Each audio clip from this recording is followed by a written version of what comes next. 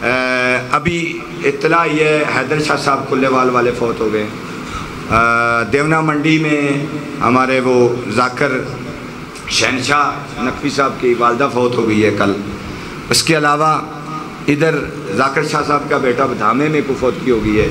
इसके अलावा भी एक और बता रहे हैं, जितने बानियान के मरहुमीन हैं जितने मोमिन के मरहूमिन हैं, आप हाजरीन के मरहूमिन हैं बरला सदका अहल बैतम का, सदका मजलूम करबला की, मजलूमियत का उन तमाम की मगफरत फरमा। और जितने बानियान दाम दिर में सुखने इस मजलिस में हिस्सा ले रहे हैं, उन तमाम की तोफ़ीक़ात खैर में इजाफ़ा फरमा।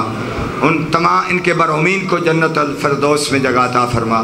बा, बानियान जो हैं उनकी तोफ़ीक़ात खैर में इजाफ़ा फरमा। इनके रिज़ के खैर में बरकत ता फरमा। रिज़ में इजाफ़ा फरमा। ये हमारी मजालस जलूस अदा जहाँ के भी हैं खैर वफ़ीत से मंजिल मकसूद तक पहुँचा। दुश्मनान को अपने नाकाम इरादों में नाम नामुराद फरमा। और हजत खुदा यूसुफ ज़ारा, इमाम ज़मा अजल्ला शरीफ का जल जहूर फरमा।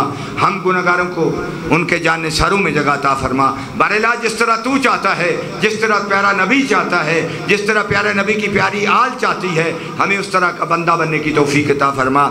ये इमाम बारगाह बाबुल हवायत सादात बड़ी हिम्मत कर रहे हैं, कोशिश कर रहे हैं। और इसको लाला मूसा के गिरद इनवा के इलाके में मुनफरद बनाना चाहते हैं।